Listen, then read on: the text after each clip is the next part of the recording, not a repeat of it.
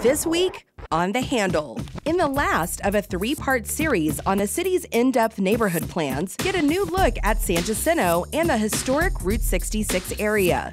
With its own healing mission, Plus, meet the folks behind a movement to clean the city.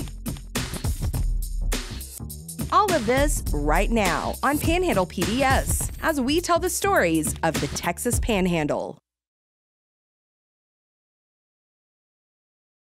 I've heard a lot of stories. I've heard that it used to be like, you know, middle class and very, very beautiful here. And then all of a sudden it just, you know, went down. Well, the vision for this house has always been uh, this is our our outreach, or is this neighborhood. We no longer do, you know, out of state or out of the country or anything like that. We just focus all of our resources to this neighborhood. So when we heard about this plan, it was good to know that you know more help was coming. And so we just jumped on it right away because we knew we wanted to be involved in the whole process. It's actually our third neighborhood plan, so we kicked it off with a consultant, which is the first time I've used a consultant um, through this planning process. So we're about halfway through the plan now since starting in January and hope to have it adopted by February of next year. This one's probably been the most successful. From my understanding, we've had over 100 at multiple public meetings. I was really impressed with that turnout. I didn't know it was going to be, you know, that big the the attendance was impressive. Like that was something that really surprised me. Um, so people are clearly like very engaged and seem to be committed to um, the planning process. It's it's a 12 plus month process that we go through. Um, we work with an advisory committee. Uh, we have around 20 or so that uh, signed up to get more involved from our first public kickoff meeting. So we meet with them monthly uh, to go through the planning process. There's a lot of data on the front end. We look at a lot of a lot of the map mapping that we use uh, for the demographics, for the, the economy. We look at the the median income level. We look at the age of the, the neighborhood, um, the value of the home. So we really look at all that information to kind of get a feel for where it is today so we can see how it improves or changes in the future. Um, but it was a pretty young neighborhood uh, compared to the city overall.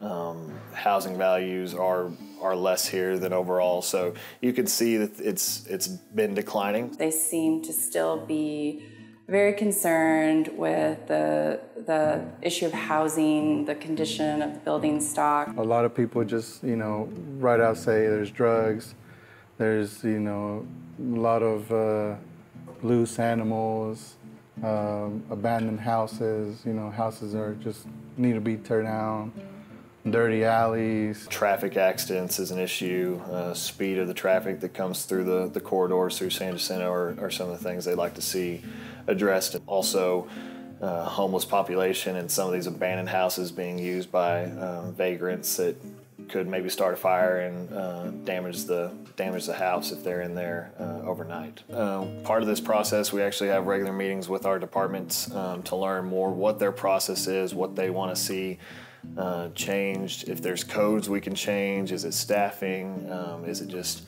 getting more information out to the community on how to report those issues? But there is, of course, a process that goes along with it. If somebody has a, a house that's in poor condition, they have uh, a chance to bring it up to code, bring it up to where it needs to be. So it's a lot of uh, explaining what the process is so they have an understanding of what it takes to actually address those issues. As housing houses age, um, if they're not taken care of, they do get to a point that can you save them or can you not, and what amount of money needs to be invested. Um, and it's also just the neighborhood as a whole, what, what's that investment look like for the investors that own multiple houses? Can they continue to put the money into it and regain what they're putting into it? Is it worth the investment to continue? So it's it's really a balance that you want to be able to continue to, to grow that neighborhood and see that reinvestment, but ultimately they're only going to put in what they know they can get their profit back. So it's kind of a balancing act um, to try and bring the neighborhood up as a whole. We've had discussions with the, the larger property owners, and it's and they'll tell you right up there, right right in the beginning of the conversation, they don't take care of the properties necessarily what somebody that's living there on a day-to-day basis, a homeowner that owns a property, they may check on the property once a month or something to make sure it's getting mowed, but it's not really that pride of ownership that you might see from somebody that uh, owns a property. and is living there. So having that turnover of tenants and renters um, can have an impact on the neighborhood. Alleys are another big concern that they'd like to see addressed as far as just the the illegal dumping activity that we see. Um, they're also big into the committee's shown a big interest in sustainability um, and practices as far as um, drainage and runoff and, and how we can address some of those issues. Community gardens has come up quite a bit too. Uh, they actually have one here locally with uh, Square Mile that's done there, uh, urban farming. So they like to see more of that as well, just to continue to grow um, grow their local businesses too. They don't want to be a have chains come in and, and kind of take over. They want to continue that local business entrepreneurship that you've seen on Route 66. Well, I think addressing the community's concerns about um, public safety really is the first step. I think that um, the, the perception has to start to change in this neighborhood. That has to be where we start. Um, and then once um, we start to see some progress in those areas, I think that the other um, the other opportunities that the neighborhood has identified that they want um, will be much easier to achieve.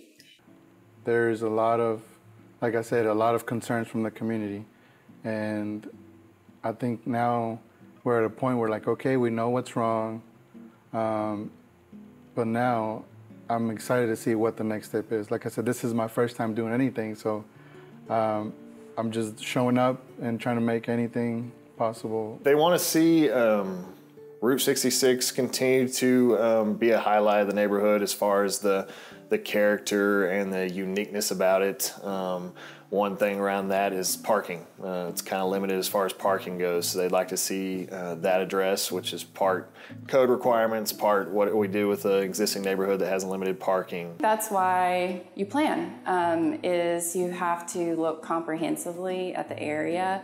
Um, in commercial districts, often you have to have some sort of shared parking.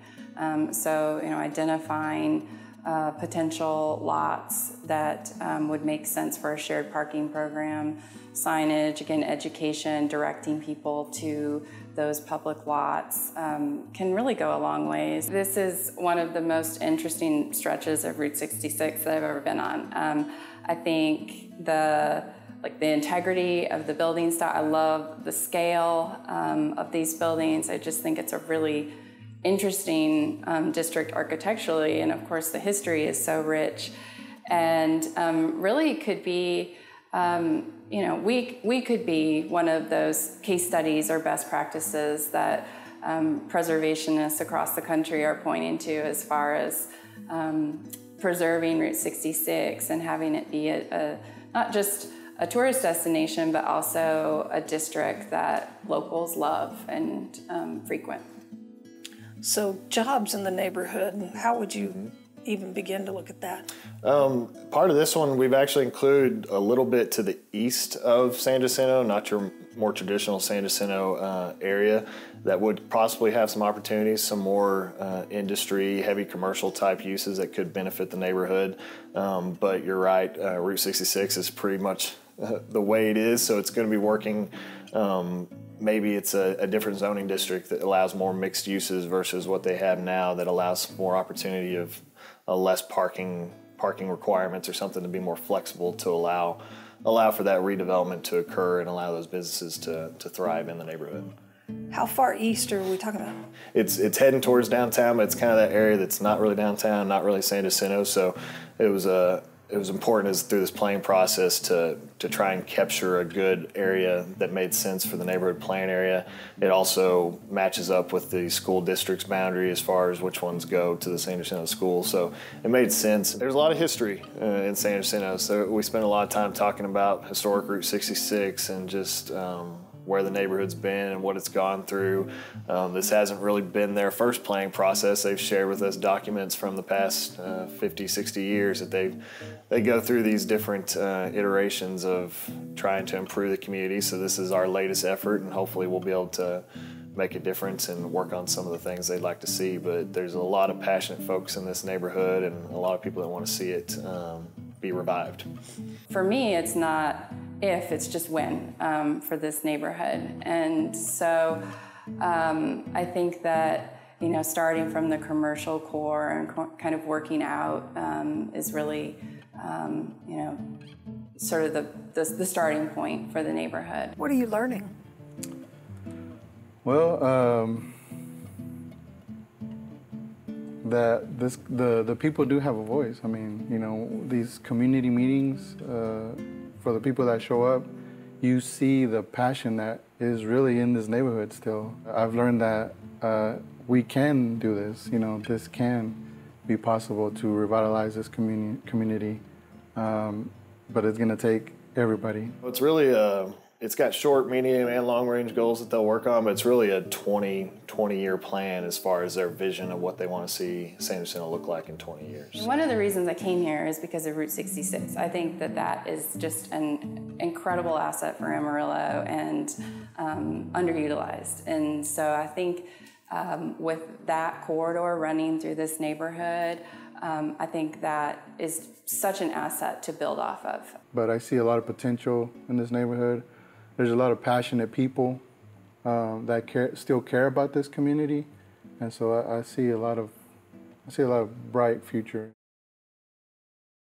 Life is hard, and when life is hard and you have health problems, it's much more difficult. My name's Alan Keister, and I want to welcome you to Heal the City Free Clinic. About 10 years ago, I started doing medical mission trips down to Central America. And when I would go on those trips, uh, I would come back and uh, I would tell people about those trips, and the people would look at me and they'd go, You know, your face lights up. You look different when you talk about what happened down there. And so there was a season where I actually thought I might move down there um, full time and do medical mission type of work. Um, my family did not think that was maybe the best idea. Third world countries did not rank high on their list. And so my calling sort of ended up being right here to the city I grew up in. We started out uh, at the church I was attending uh, back then, and we worked with Wolflin Elementary School. And we just did simple stuff check your blood pressure, check your blood sugar, check your cholesterol. And you know, we had a 250 people show up on that first day. We found a lady that um, had been um, in Afghanistan. She was an Afghanistan refugee, had a blood sugar of 400. So we were able to diagnose her with diabetes, get her diabetes treated, and you know maybe one person doesn't end up in the emergency room because we did this clinic. The next one we did was actually right here in San Jacinto neighborhood. We had uh, we did it on a Thursday night, uh, kind of after school, but connected to the school. Um, also had food brought in. And uh, shockingly, about 500 people showed up in two hours. And um, it was kind of then that we said, well, maybe we're on to something. Maybe we need to do something here in this neighborhood. Um, we asked the question, you know, where had most of these people gotten their health care? And so a lot of them had not had any health care in a number of years. Several of them had gotten their health care through um, the emergency room. Um, and some of them had, you know, different clinics that they'd attended, but the majority of them did not have any regular sort of health care, and the majority of them didn't have any health care insurance. I, I, think the thing about San Jacinto is this um, I was amazed um, that there were a lot of people who um, lived in this neighborhood that struggled with poverty in ways um, that I saw struggling with poverty even in a third world country. And to me, having grown up in Amarillo and maybe lived, eat, and breathe in a quarter uh, of Amarillo, I didn't recognize there were people that were really struggling in ways that um, I hadn't seen, you know, other than outside of this country. And so, um, to me, I think recognizing that there were people right here where I live that are struggling. We ended up having a little bit of a town hall meeting um, with uh, several of the parents over there at the school. And I just said, this is what we're thinking about, but we really want your input. Where's a, where's a place that you feel comfortable, that you trust? And so um, the place that they came up with was Generation Next Church. And I'd never met Pastor Tommy before, but I called him up and I said, hey, let's go to lunch. I have a crazy idea. And, you know, that was the beginning of a really great relationship. So he said, You know, I have this little house out behind my um, behind my church, and we use it as a youth house. And, and so, yeah, we set up just a one night a week clinic.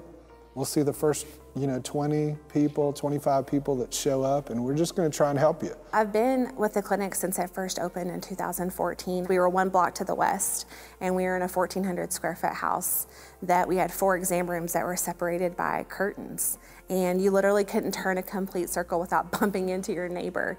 You know, we thought this is going to be great. We're going to serve, you know, a thousand patients a year. Well, we outgrew that that space um, in two weeks, and we stayed there for two years.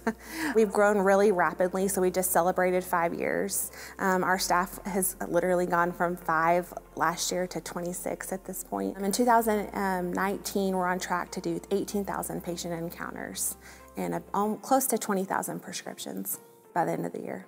The city generously gifted us this building, and now it's gone under transformation itself. Now we're able to serve a ton of people. We are serving 44 counties.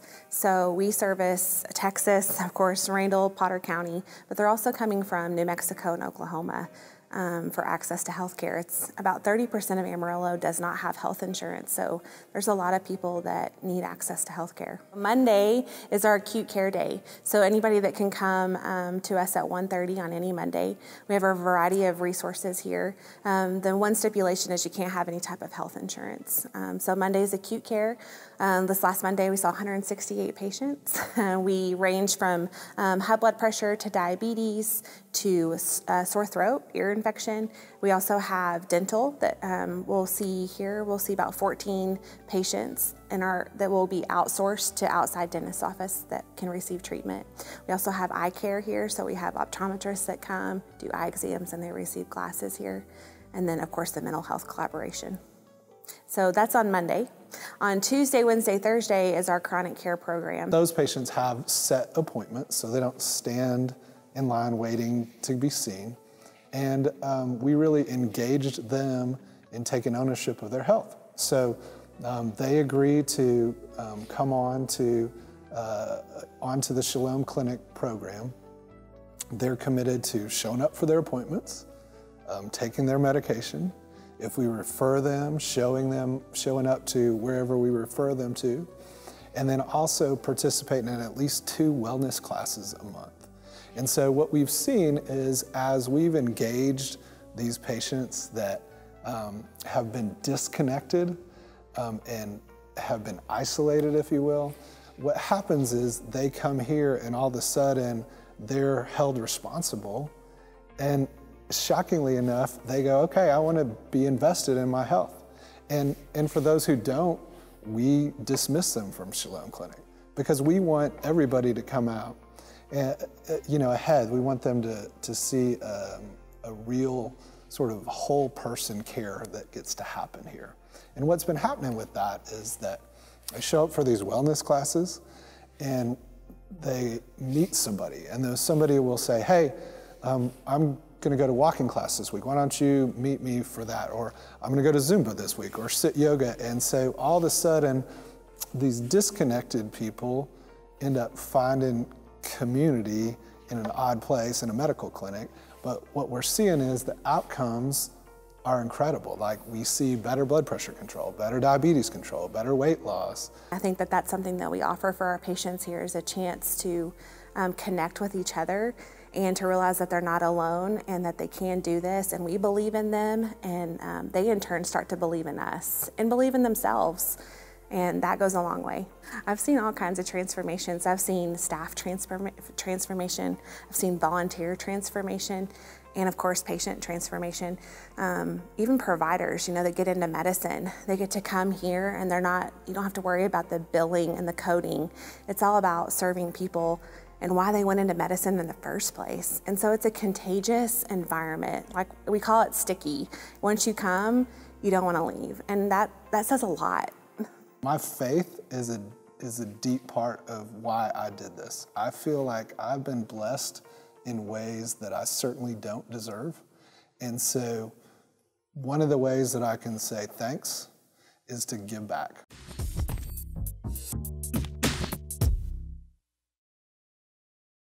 Hi, I'm Nolyn Hill.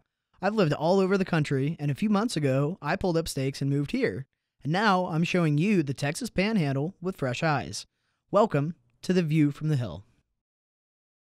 In April 2019, Bobji and Devi Yalamanchili founded Keep Amarillo Clean, an educational initiative to reduce plastic usage, to encourage eco friendly products, and to keep the city litter free. With their citywide cleanup days, the Yalamanchilis say Keep Amarillo Clean has inspired citizens of all ages to come together and to take pride in their neighborhoods. Uh, my name is Robin Ferris, and I joined Keep Amarillo Clean organization back in the spring. Um, I actually had a conversation with Mayor Nelson one time about what we do in the city for litter, and she's the one that connected me with Bobji and his wife Debbie, and um, so that's how I got involved with the organization. So I just have a passion for keeping Amarillo clean and litter free. My name is Bobji Yalamanchili. My name is Devi Yalamanchili. well, we went to Japan. It was a very, very clean country. And uh, you found out that uh, the school children are taught that way to keep it clean. And so when they grown up, you know, they're very, very, you know, uh, conscious about the environment.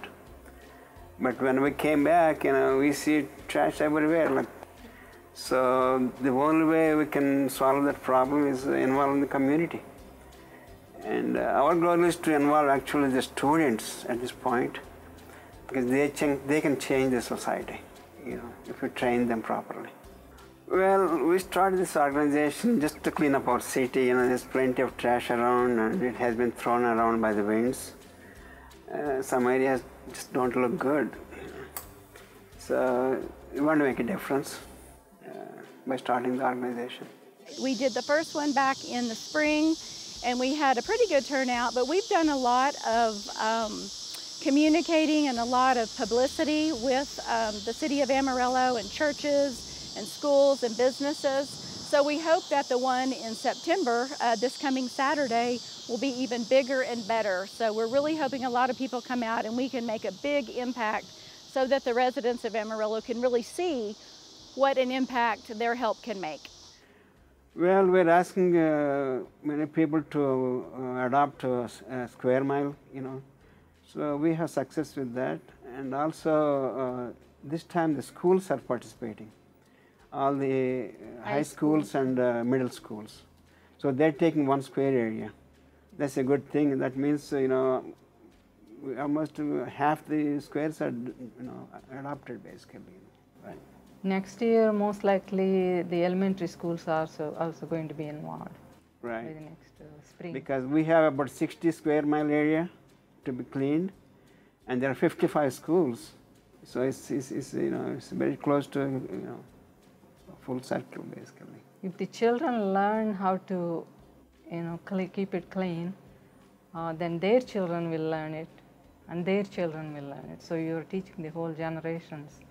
I think if you start with children and teach them at a young age, it becomes a habit and a positive habit.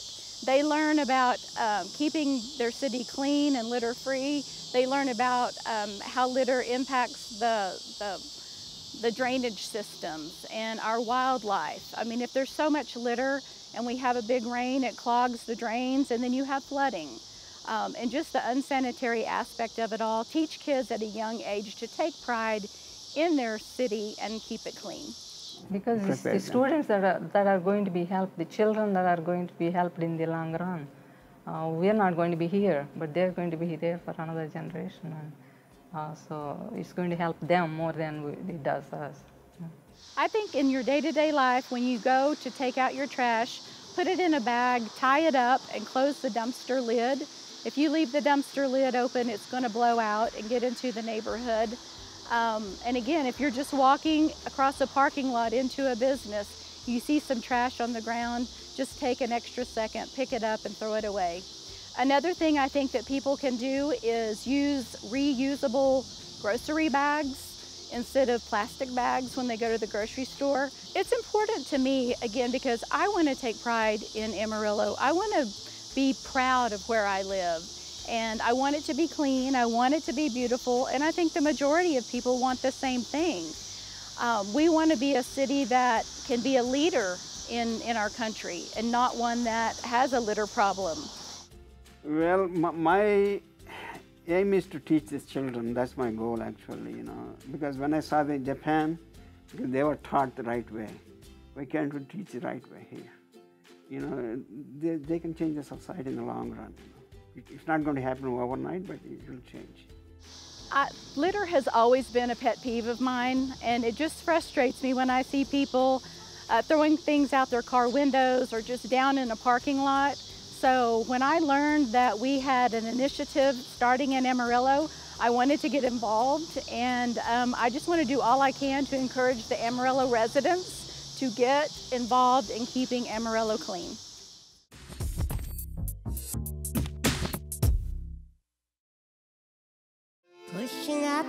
Up through the dirt just like a seed, but you're never quite a flower. You feel more just like a weed. Driving through, driving through.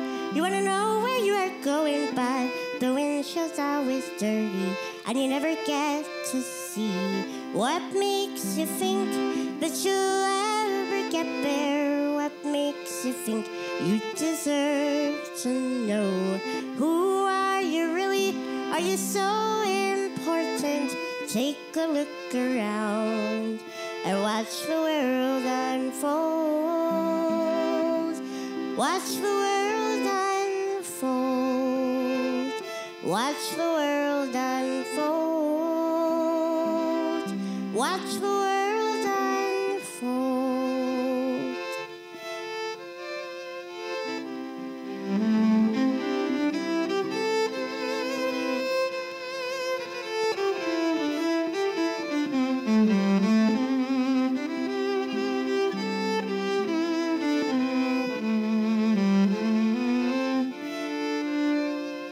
Need advice, need advice. You have no clue what you're doing. Moral compass it is spinning, an identity unhinged. Where to turn, where to turn. There's so many opinions, and they're all a little different. And the outlook's getting dim. What makes you think that you'll ever get there? What makes you think you deserve to know? Are you so important? Take a look around and watch the world unfold. Watch the world unfold. Watch the world unfold.